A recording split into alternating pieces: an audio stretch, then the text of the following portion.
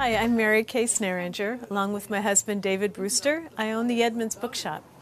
We've owned it for 12 years, but the bookstore itself has been here for 40, going on 41 years.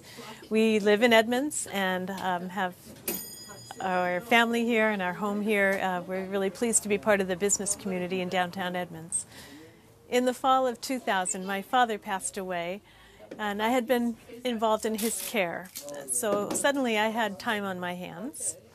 And my husband's company had a Christmas party. We went to the Christmas party, and there was a palm reader there.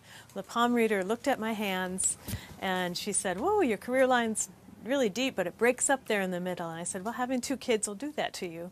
And then she looked at it later and she said, Well, boy, it sure crosses with your success line later. You should own your own business. You should start a business. And I laughed at David and said, Yeah, let's open a bookstore. Ha ha.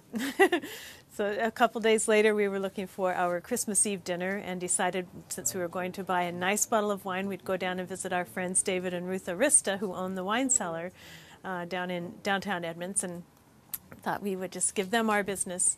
As we were walking past the bookstore, noticed a little sign in the window that said, This establishment is for sale.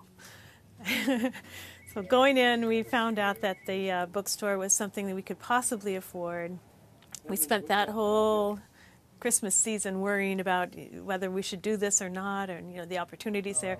We finally just decided to go in, and if we ruin the family, we'd ruin the family, but we would give it a try, and it's worked out. It's been really fun ever since. We've had a great time. Like all booksellers, we've faced challenges over the years, uh, from online bookselling and now digital e-readers.